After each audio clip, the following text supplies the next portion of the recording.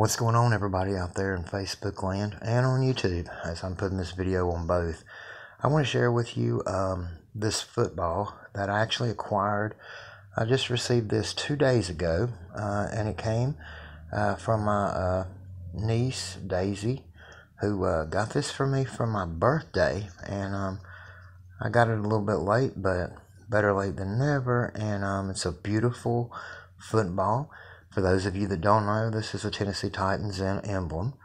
Uh, and right here was probably, in my opinion, one of the, um, if except for Peyton Manning, he would have been easily the best quarterback in the NFL for a very long time. Um, sadly, Steve McNair is no longer with us. He passed away at a young age in life, but uh, this is him on this football. This is like beautiful, gorgeous color, bright color. McNair number nine there.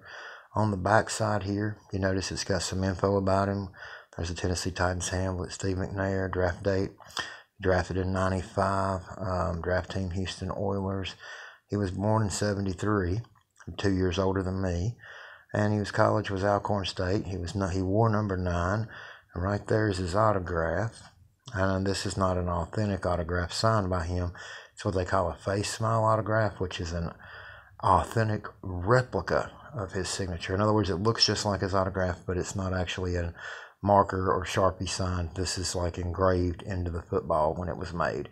And um, it's officially licensed by the NFL and the Players Association, as you can see right there. Um, and um, it was made in like uh, 2004, I think, but officially licensed product. Uh, really nice, beautiful football.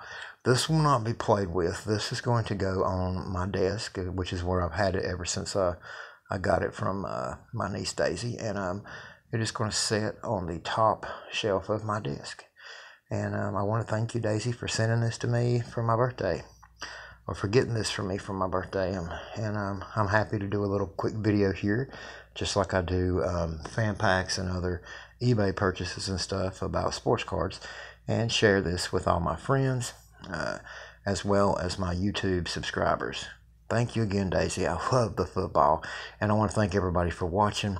Uh, stay tuned to my channel for more videos coming up in the near future.